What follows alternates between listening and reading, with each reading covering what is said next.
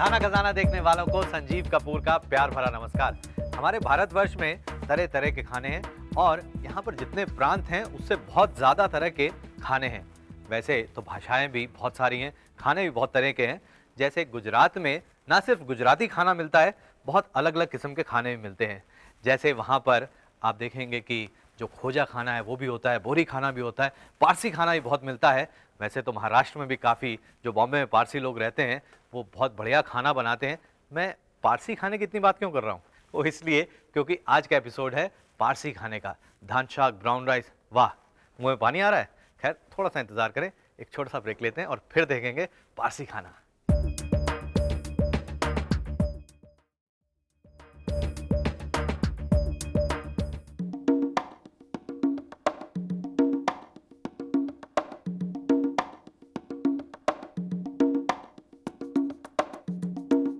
सासनी मच्छी हो या पातरानी मच्छी या फिर सली गोश्त।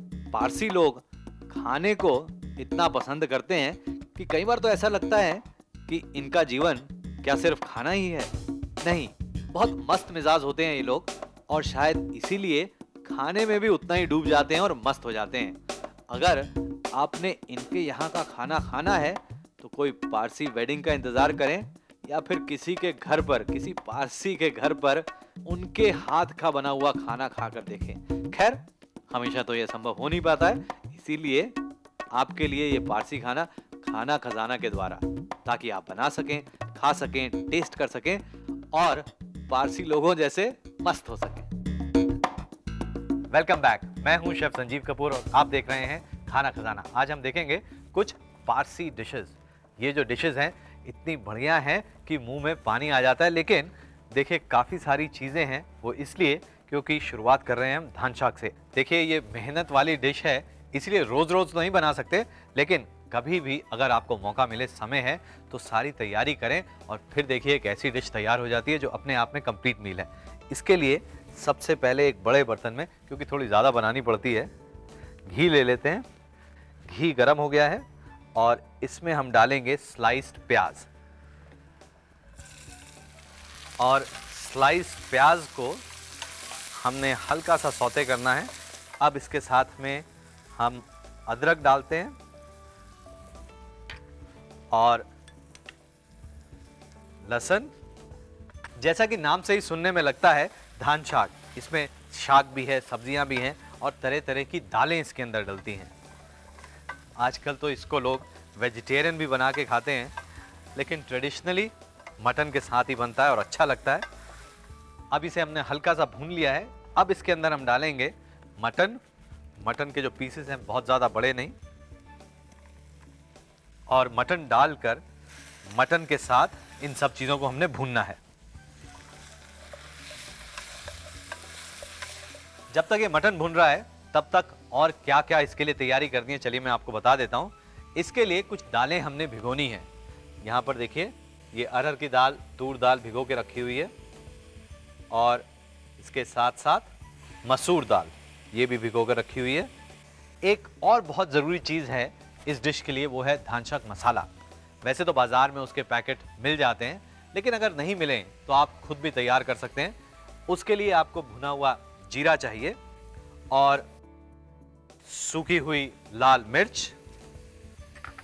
लौंग उसके लिए बहुत ज़रूरी है। और थोड़ी सी काली मिर्च। ये तो चारों चीज़ें बहुत ही ज़रूरी हैं और इन सबको पीस कर फिर इसके अंदर डाला जाता है। थोड़ा तीखा रहता है ये मसाला।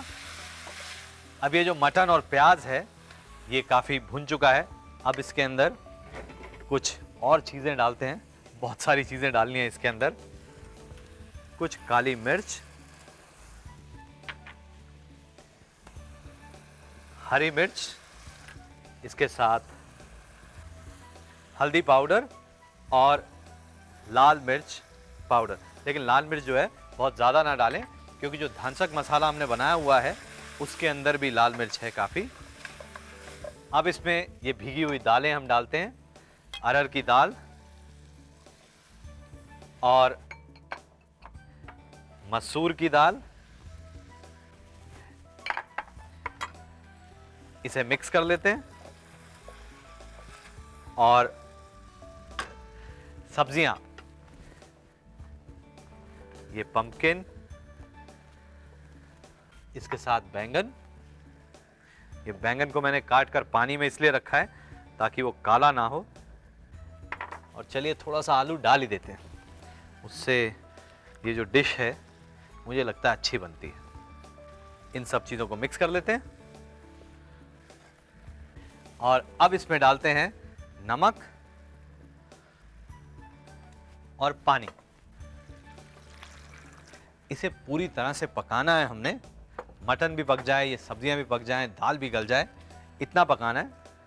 अभी बहुत सारी और चीज़ें इसके अंदर हमने डालनी है। अब आप देख रहे हैं, ये सब पूरी अच्छी तरह से उबल रहा है। अब इसके अंदर हम डालते हैं मेथी। मेथी भी साथ में पका देते हैं। कुछ पुदीने के पत्ते। इसे भी मिक्स कर लेते हैं और इसके साथ इसमें डालें टमाटर।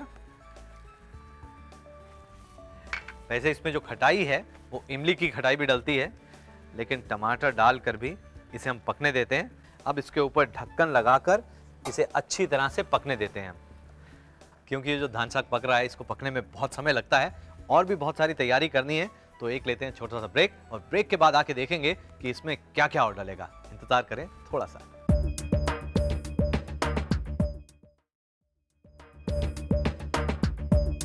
वेलकम बैक मैं हूँ शेफ संजीव कपूर और आप देख रहे हैं खाना खजाना। और खाना खजाना में आज मैं बना रहा हूँ धान साग और ये जो डिश है, वाकई इतनी बढ़िया है, पारसी स्पेशल है तो इसलिए कुछ स्पेशल ही होना चाहिए। खैर, अभी भी इसको पकने में काफ़ी समय लगेगा। मटन भी गलना चाहिए, जितनी सब्ज़ियाँ हैं, दाल हैं, वो सब गलनी चाहिए।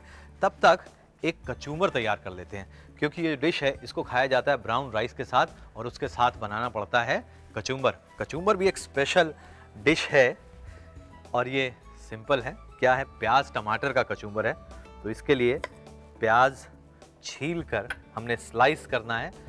देखिए, वैसे जो प्याज है, उसको या तो आप ऐसे स्लाइस कर सकते हैं, या इस तरह से लंबा लंबा तो इसके लिए थोड़ा लंबा लंबा स्लाइस करेंगे। और इसके साथ साथ टमाटर। बढ़िया, एकदम लाल टमाटर। ये जो टमाटर है, इसे भी इस तरह से लंबा लंबा स्लाइस कर लें। ये हो गया टमाटर। इसे हम डाल देते हैं प्याज के साथ में। और इसके साथ इसमें डालेंगे हरी मिर्च। और अब इसकी ड्रेसिंग तैयार करते हैं। देखिए सैलड है कचूमर है तो ड्रेसिंग तो तैयार होनी चाहिए। ये जो सैलड है, ये खट्टा मीठा सैलड होता है तो इसके लिए थोड़ी सी एक ड्रेसिंग तैयार करनी है। वो खट्टी मीठी ड्रेसिंग है।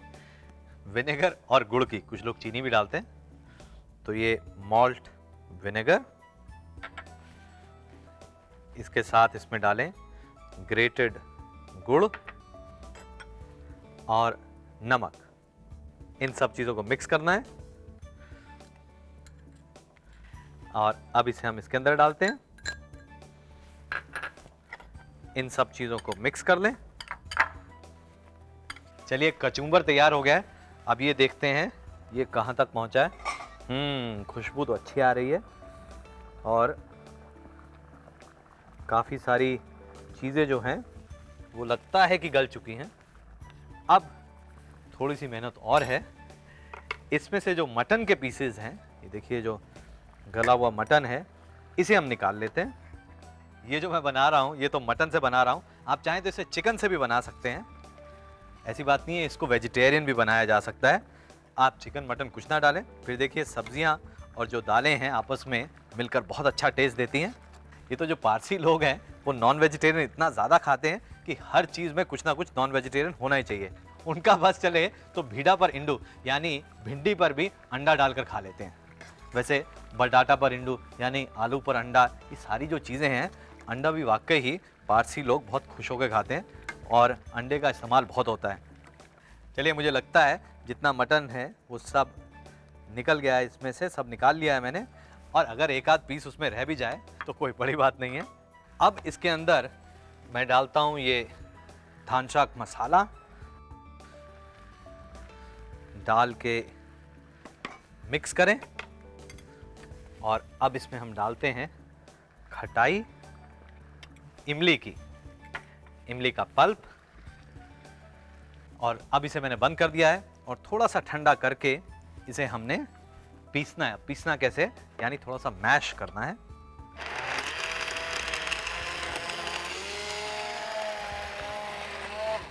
अब ये जो है, अच्छी तरह से मिक्स हो गया है। और अब इसे मैं हटा देता हूँ यहाँ से और वापस आग के ऊपर। अब ये जो मटन था वापस इसके अंदर और थोड़ा सा पानी। मुझे लग रहा है कि इसकी जो कंसिस्टेंसी है, थोड़ी गाढ़ी है। तो थोड़ा पानी डालकर इसे हम पकाएँगे। आप चाहें तो ऊपर से थोड़ा सा धनिया डाल सकते हैं। ये सिर्फ़ दिल खुश करने के लिए, सारा टेस्ट तो उस डिश के अंदर है ही।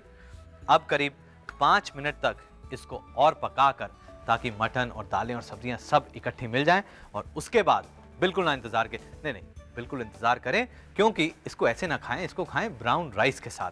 वो भी आज बताऊँगा, लेकिन अभी तो आप नोट करें इसके इंग्रेडिएंट्स और उसके बाद इसका एक रिकैप इसके लिए हमें चाहिए आधा किलो मटन के पीसेस एक चौथाई कप तुअर दाल पानी में भीगी हुई, एक चौथाई कप मसूर दाल पानी में भीगी हुई, एक चौथाई कप घी, दो प्याज स्लाइस किए हुए, एक इंच का टुकड़ा अदरक का बारीक कटा हुआ छह कलियाँ लहसुन की बारीक कटी हुई, दस काली मिर्चें, दो हरी मिर्च कटी हुई, आधा छोटा चम्मच हल्दी पाउडर, एक छोटा चम्मच लाल मिर्च पाउडर 100 ग्राम भोपला यानी काशी फल क्यूब साइज़ में कटा हुआ, तीन छोटे बैंगन क्यूब साइज़ में कटे हुए, एक आलू क्यूब्स में कटा हुआ, नमक स्वादानुसार, एक चौथाई गड्डी मेथी के पत्तों की, एक चौथाई गड्डी पुदीने के पत्तों की, दो टमाटर बारीक कटे हुए, दो बड़े चम्मच धनसक मसाला, तीन बड़े चम्मच इमली का पल्प और दो बड़े चम्मच बारीक कटा हुआ हरा धनिया।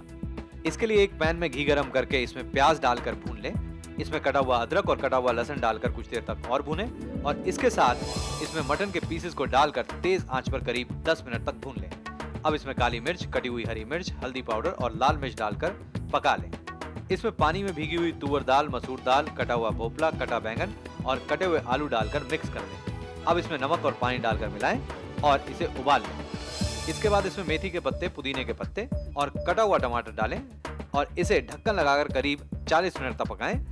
इसके बाद इसमें से मटन के पीसेस निकाल लें और अब इसमें धनसक मसाला और इमली का पल्प डालकर मिक्स कर लें और इसे थोड़ा सा ठंडा करके इसे हैंड ब्लेंडर या मिक्सी में ब्लेंड कर लें अब इस मिक्सचर को एक बार फिर गर्म करके इसमें मटन के पीसेस और थोड़ा सा पानी डालकर मिक्स करें और इसमें कटा हुआ हरा धनिया डालकर इसे करीब पाँच मिनट तक और पकाएँ और गर्मा गर्म सर्व करें। कचूमर के लिए दो प्याज स्लाइस की हुई, तीन टमाटर स्लाइस किए हुए, दो हरी मिर्च लंबी कटी हुई, एक बड़ा चम्मच मॉल्ट विनेगर, एक बड़ा चम्मच ग्रेट किया हुआ गुड़ और नमक स्वादानुसार। इसके लिए एक बोल में कटी हुई प्याज, टमाटर और हरी मिर्च डालकर अच्छी तरह से मिक्स कर लें और एक छोटा बोल ले लें और उसमें मॉल्ट विनेगर लेकर उसमें ग्रेट किया हुआ गुड़ और नमक डालकर मिक्स करें और इस ड्रेसिंग को प्याज, टमाटर और हरी मिर्च के मिक्सचर में डालकर अच्छी तरह से मिक्स करें और सर्व करें।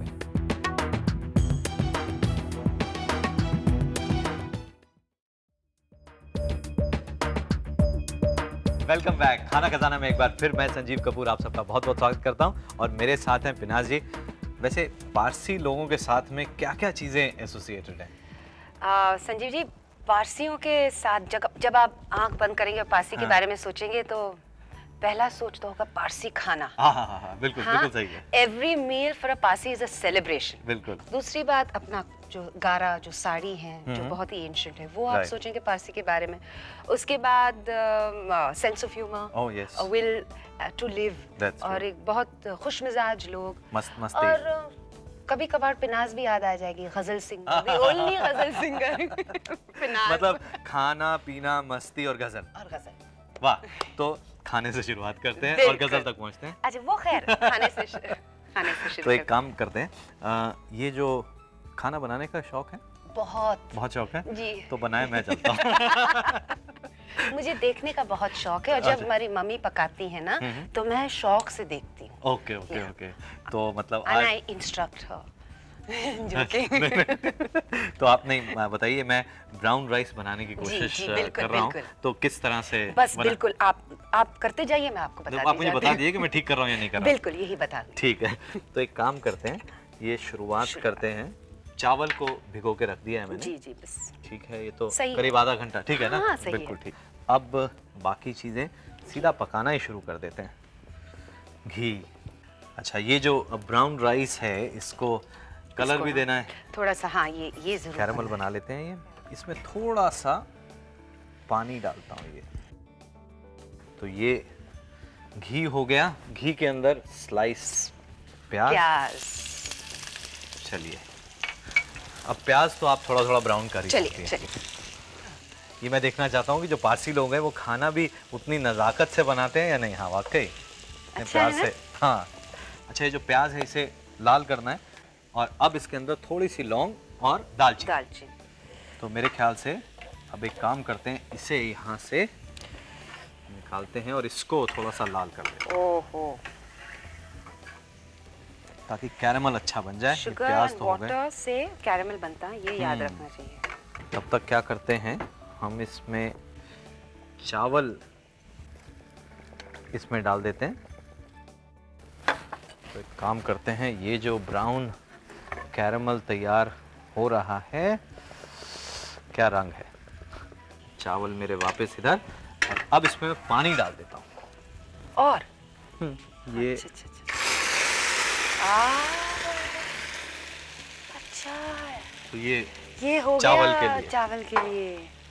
तो अब ये जो कैरमल वाला पानी है ये तो इसमें डालें ये गया अरे वाह। लीजिए। जी। आप पकाएँ इसे। बिल्कुल। और ये आ गया नमक। इसको अब हाँ इसको ढक्कन लगा देते हैं। काम करते हैं। करते हैं ना ताकि हाँ, बन जाए ना कभी ये इस पे ढक्कन लगा दिया। अब धीमी आँच पर इसको हाँ। पकने देते हैं। अब पकने में थोड़ा सा समय लगेगा। पाँच मिनट। हाँ पाँच पाँच छः मिनट। हाँ। पर तब तक क्या किया जाए? खाना तो हो गया गाना? गाना? हाँ क्यों? हाँ क्या हाँ, करूँ? क्या आप, आप बताइए। नहीं ये ये तो मेरा फ़ील्ड नहीं है। आ, तो पकाते पकाते जनरली मैं क्या गाती हूँ हाँ। मैं आपको बताऊँ ना इंस्पिरेशन पकाते पकाते गाना वाह। कौन कौन सा कौन सा गाना कोई भी मूड उस वक्त हाँ। हो। जाए कोई भी गाना। कोई कुछ कुछ भी। तो तो इसको निकाल दो पकाते पकाते ही गाना गा अच्छा। वैसे आई फील वेरी हाँ हाँ, हाँ ये अब ये आ गया ना? हाँ, अब दिस इज़ अब इसके साथ दिस इज़ रियल लाइफ हाँ। मोहब्बत के सागर छलकने लगे हैं। मोहब्बत के सागर छलकने लगे हैं। वो दिल बन के दिल धड़कने लगे मोहब्बत के सागर छलकने लगे मतलब छलके तो ढक्कन लगाते और ये जो चावल बन रहे हैं ब्राउन राइस उसका दिल जो है धड़क रहा है। धड़क रहा है। उछल रहा है हाँ बिल्कुल अच्छे कब से तैयार हो कब खाएँ ये कब... पकने में ज़्यादा समय नहीं जी, है। जी। और अपने खाने में वाकई ही बहुत स्वाद और दे दिया है। इसी तरह से आप खाने में स्वाद देते रहें। बहुत बहुत शुक्रिया। बहुत बहुत शुक्रिया। आप कहाँ जा रहे हैं? आप नोट करें इसके इंग्रेडिएंट्स और उसके बाद इसका रिकैप ब्राउन राइस के लिए दो कप चावल पानी में भिगे हुए तीन बड़े चम्मच चीनी चार बड़े चम्मच घी दो प्याज स्लाइस की हुई आठ लौंग दो टुकड़े दालचीनी के एक इंच साइज़ के और नमक स्वादानुसार। इसके लिए एक पैन में घी लेकर इसमें प्याज डालकर भून लें और अब इसमें लौंग और दालचीनी डालकर कुछ देर तक और पकाएँ। और चावल को पानी में से निकाल कर इसमें डालें और करीब दो मिनट तक सौते करें। एक पैन में चीनी ले लें और एक बड़ा चम्मच पानी डालकर इसे कैरमलाइज कर लें और इसके बाद करीब चार कप पानी डालकर मिक्स करें और इसे चावल में डालकर अच्छी तरह से मिक्स कर लें। इसके साथ इसमें नमक डालें और इसे उबाल लें। अब धीमी आँच पर करीब पाँच से छह मिनट तक पकाकर चावल को गर्मा गर्म सर्व करें। तो देखा आपने कि जो पारसी खाना है वो कितना सिंपल है। जो पारसी लोग हैं अपना जीवन बहुत ही आनंद के साथ गुजारते हैं और उनको खाना बहुत ही पसंद है। खाने में इतनी बढ़िया बढ़िया डिशेस अगर आप भी इंजॉय करना चाहते हैं तो हमेशा की तरह से खाना खजाना देखते रहें। इसी तरह से तरह तरह की बढ़िया बढ़िया डिशेस आपके लिए मैं लेके आऊँगा। यानी शेफ संजीव कपूर आपके लिए हमेशा हाजिर है। आज के लिए इतना ही। नमस्कार।